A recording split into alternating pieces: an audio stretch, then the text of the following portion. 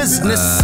Check lyrical fitness, finesse, no distress. I digress. On to the next beat. Your local wife Peter grab the fucking neck, all while listening to power by the bless, not the fucking zest. Karma at best, left brain, right hook. One quick look, never this ain't quite shook. One might look to Horace or a satanic and matchable him in a couple of typical choruses. Is I know that this is a gaggle of prophets and witnesses. Is is this just another maniacal,